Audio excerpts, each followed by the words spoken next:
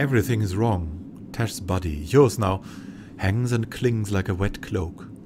The world is too bright for nighttime. Everything is too crisp. Distance is too close. edges too hard. Memories like blood flies buzz about your head, whizzing away before you can catch them. Hard-ridden Aneen heave their flanks and huff behind you. Like you, they've gone too long without rest. And there's Matkina, a much newer Matkina, is drawn by a pandering portraitist. Too soft, too fresh, too pretty, all wrong.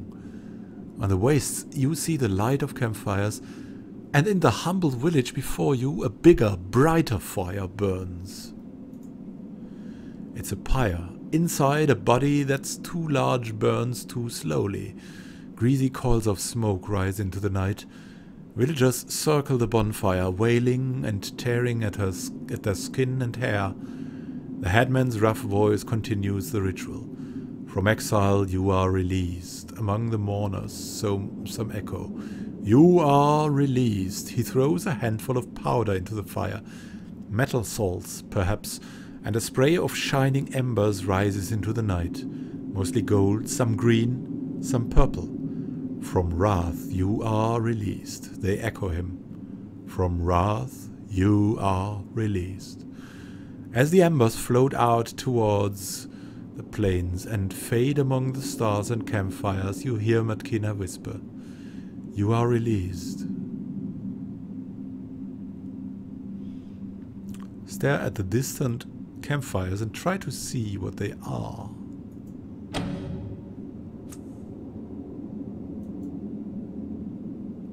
You squint your unnatural eyes and focus until the pyre the village, everything else fades away. At last the blurry campfires resolve into something crisper, and you see the faint shadows of men around them, men in long coats and broad hats, painstakingly clearing, cleaning their jezzails and daggers. There are perhaps a hundred of them.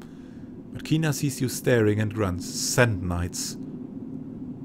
From her tone, it's obvious that they're no friends of hers or yours.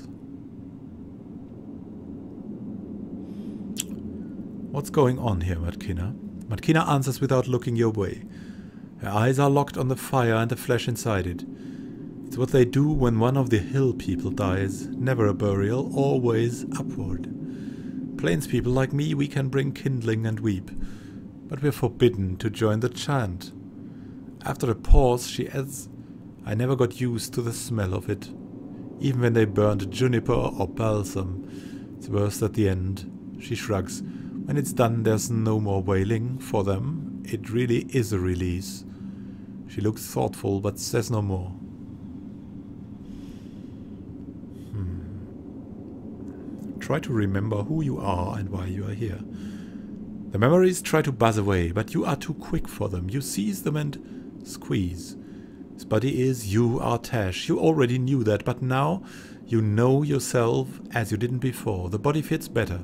You're a cast off, and when you call on the tides, you can destroy memories. You're a soldier of sorts in service of the militia, under the command of Paj Reckon. You're a scout, Matkina's spotter. The two of you are not warriors, you're specialists, you're killers. But you're not here to kill. You're here to promise something to villagers and to get an object, a flute of some sort. The Jack as for why, that memory and others remain beyond your reach.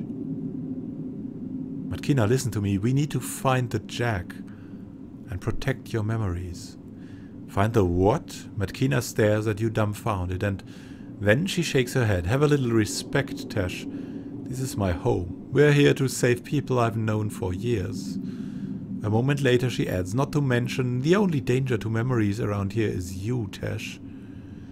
Try your tidal surge on me and I'll burn those fancy eyes right out of your skull. There's a smile on her face, like this isn't the first time Tash has teased her, or that she's promised a grisly fate in response. But Kina, this isn't a joke. You sent me here. Now there's no laughter in her hard glare, and for a moment she truly looks like the woman who sent you here. Enough, Tash, she hisses. They are mourning a murdered man over there, and him? She points to the headman. he as good as raised me. I know these people. This means something to me, even if the whole world and everything wrong with it is just a barking joke to you. She looks away from you and back into the pyre. And we'll need to barge into the ritual to do this, because we're intellectuals. We don't believe in, in rituals, believe in knowledge. And knowledge is being burnt here, so barge into the ritual. You push past Matkina and into the ring of light cast by the burning body. The headman gives you gives you no acknowledgement, and before you can say a word, Matkina jerks you backward. Lark Nibber, these things matter to them, to me. When the ritual at last ends and the mourners move on, she leads you to the smouldering pyre, where the headman stands alone. He sniffs at your approach. Kina, he says. And a stranger. His eyes are large, milky marbles. He put his hands on her shoulders. You return in unpleasant times. She touches his cheek. I return because the times are unpleasant, Neng.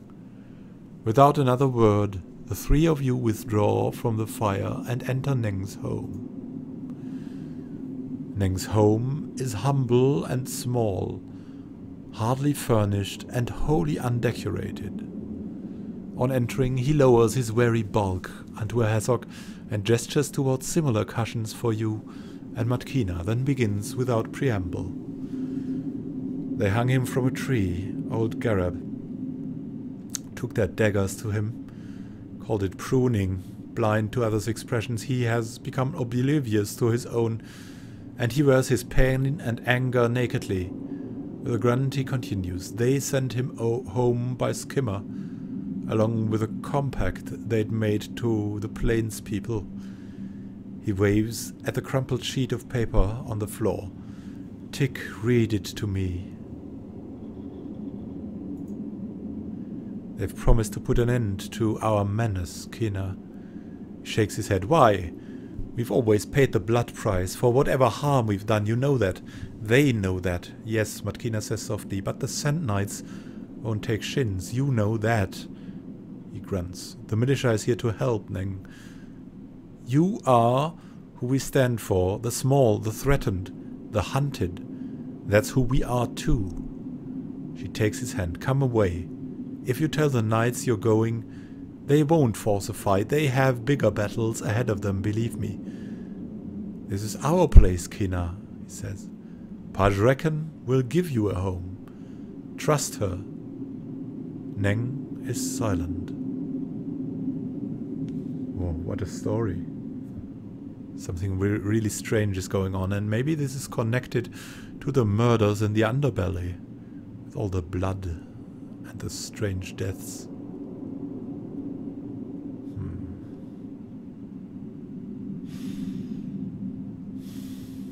Read the crumpled note.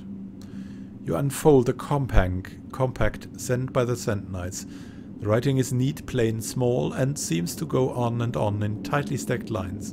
In essence, it is a vow to safeguard the villages and towns of the Verxulian waste from the menace in Colne village. The knights promise that they will undertake steps to assure that the killers in Colne village never harm anyone again. Extermination is never mentioned, merely implied. Beneath the knight marshals chop are signatures from various burghers mayors and elders of towns and villages on the waste. The knights ask nothing in return from them. The signatures vow nothing, they merely endorse, justifying whatever the knights undertake.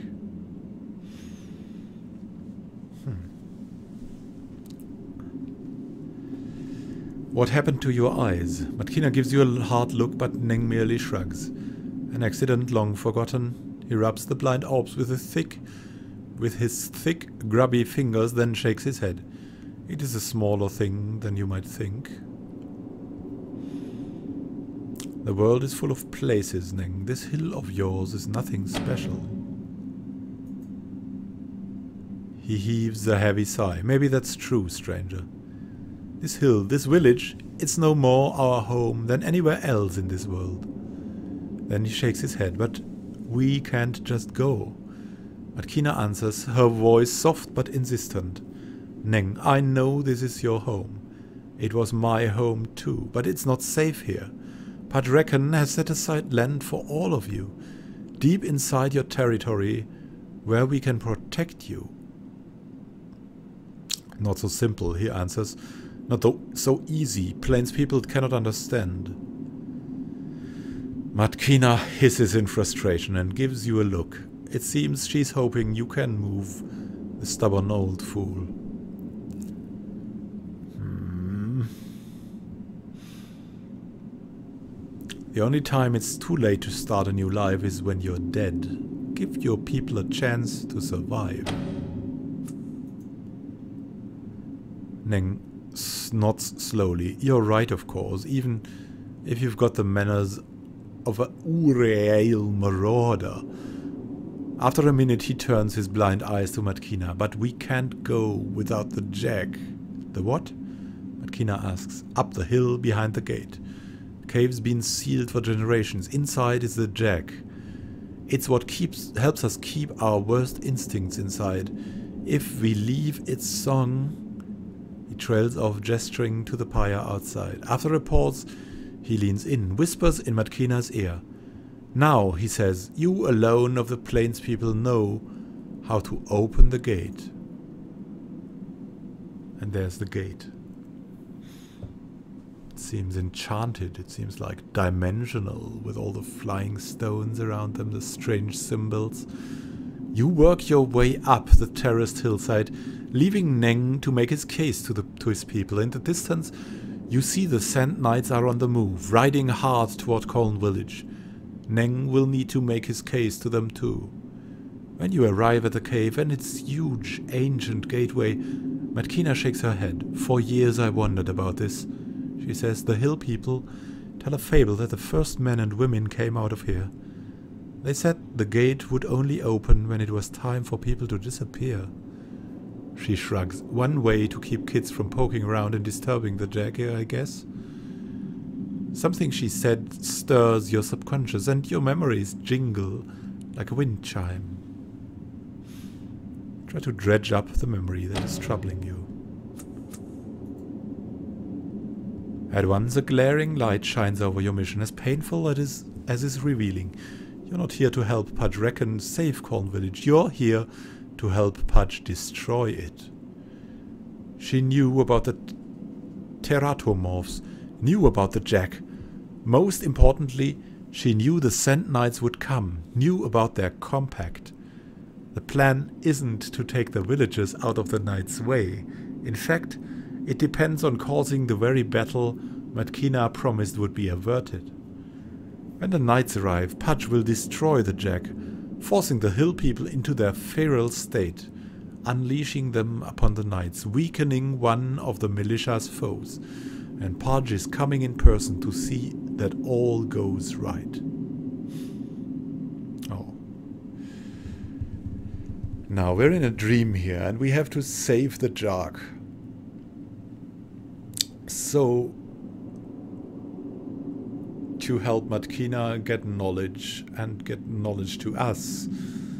Knowledge is more important than that in the dream, so Matkina, we can't open that gate. Pudge is planning to destroy the Jark and with it the entire village. You hurriedly related your memory of Pudge's plot, how she and an armed band will be waiting to take the Jack and destroy it, in order to unleash the teratomorphs upon the Sand Knights in a living trap. At a certain level, the betrayal is so audacious, the plot so callous that it is unbelievable, and at first Matkina is incredulous. But then her face hardens and her eyes flash with rage. You're serious, aren't you? She scans the horizon for Pudge, and so do you, but there's no sign of her. We need to get as far away as we can, she says decisively. decisively. Draw Pudge off, buying time to negotiate with the Sand Knights and keep them from the Jack.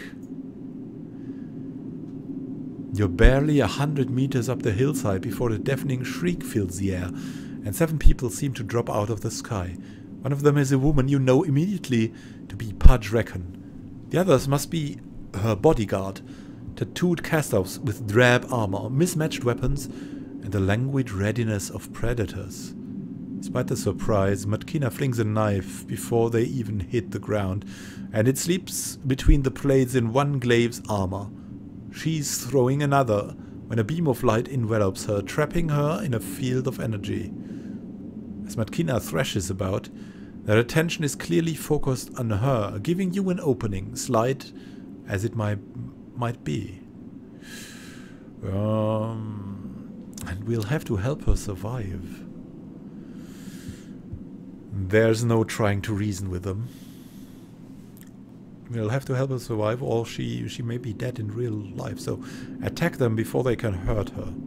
You rush forward, knowing that you have only an instant until the killer's eyes and arms are turned on you. The instant is shorter than you expect, and it is the last you know. Pain engulfs you. Your body is flung backward into the gate, a smoldering ruin that has just enough consciousness to know that this is the end, and then it's over, and you're sloughing off Tesh's body, Tesh's mind, and all is dark.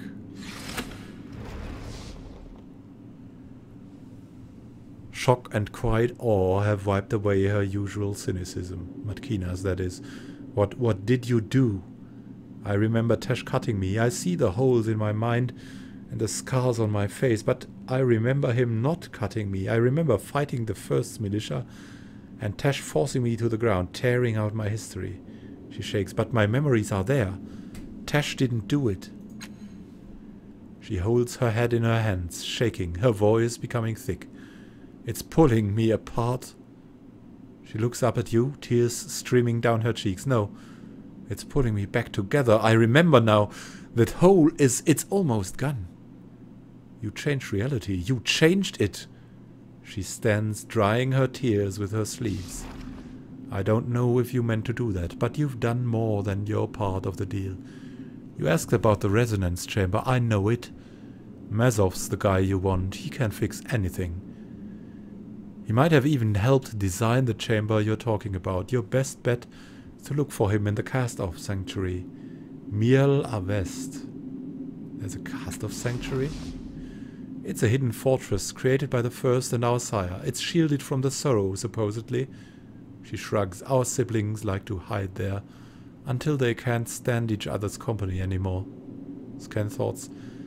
Personally, I don't think anywhere safe from the sorrow, not even that place. Great. Where can I find Miel-Avest? Word of caution. They won't believe you in Miel-Avest. They'll treat you like they treat every new cast-off as a pawn in their games with each other.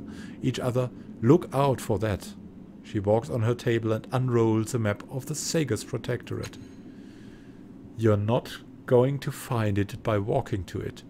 The entrance is a secret, known only to your kind. Here. She points to a spot on the map, many kilometers to the north of Sagus Cliffs. The Valley of Dead Heroes. There's a hidden portal in the necropolis. Also memorize this.